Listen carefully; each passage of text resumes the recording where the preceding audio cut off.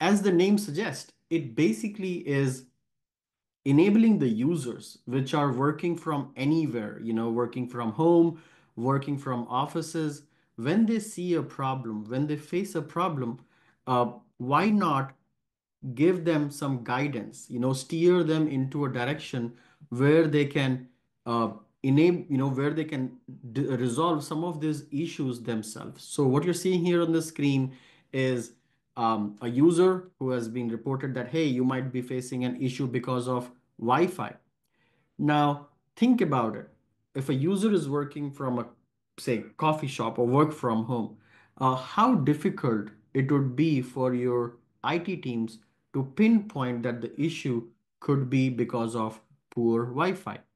So let's take a look at an example here. What would look what it would look like in a real life. A user is working from home, is having a sluggish experience, and ZCC ZDX, which is running as a you know a client in your on your desktop, the exact same uh, client connector which you use for connecting to ZIA, ZPA, ZDX is running right there.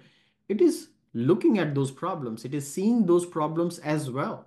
If the PC is running hot, uh, or you know a certain process is consuming too much CPU, it sends a gentle nudge to the user that hey, it looks like your device is consuming a lot more CPU than normal. That's what it is observing from baseline it is calculating.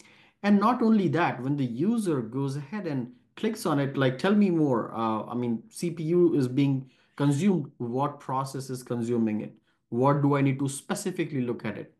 ZDX tells that, okay, the CPU is running 100% for a certain duration. And when you click on learn more, or, you know, it may 80% or whatever, consistently, what we are seeing here is we also notify the user that there is a, there are certain processes which are consuming more CPU than normal for a longer duration.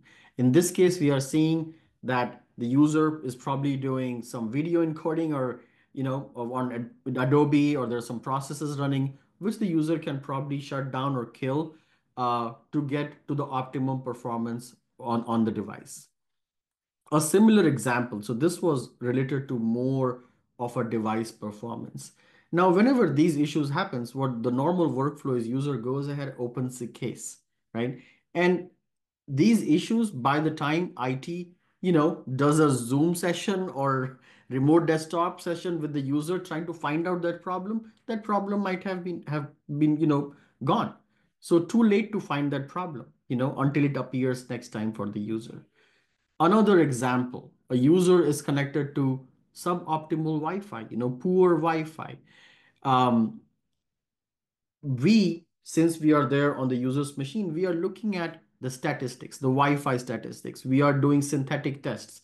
We can tell that since this user is connected to a certain Wi-Fi, we can tell that they are having a degraded experience.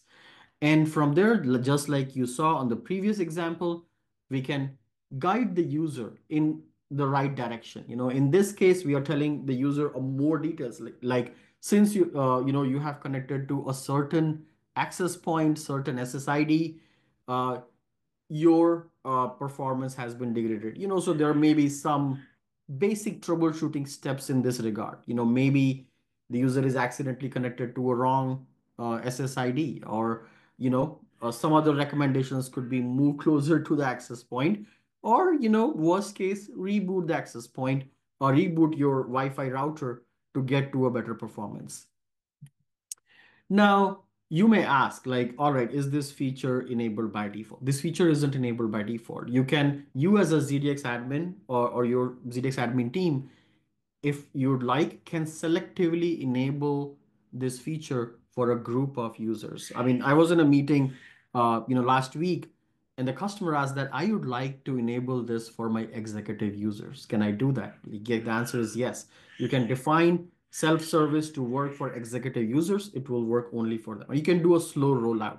But with all of that, what we are showing here that as a ZDX admin, you have a full view of what are the different notifications which have been sent out to the users, which are those users, what, what was the feedback from the end user? Did they find it helpful or not, right?